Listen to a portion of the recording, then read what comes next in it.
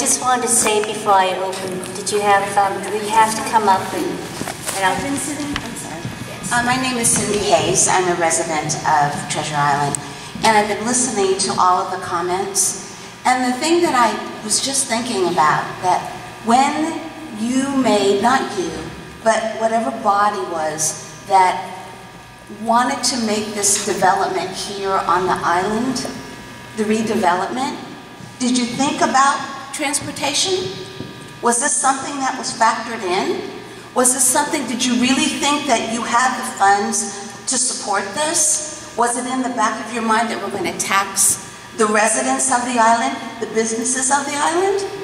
I think if you think about it, if you don't live on the island, if you live in San Francisco, just think about it.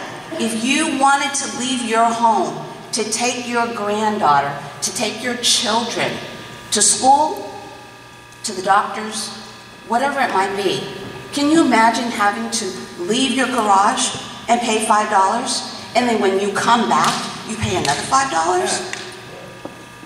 It just doesn't make any sense to me, and I just wanted to voice my opinion. Thank you.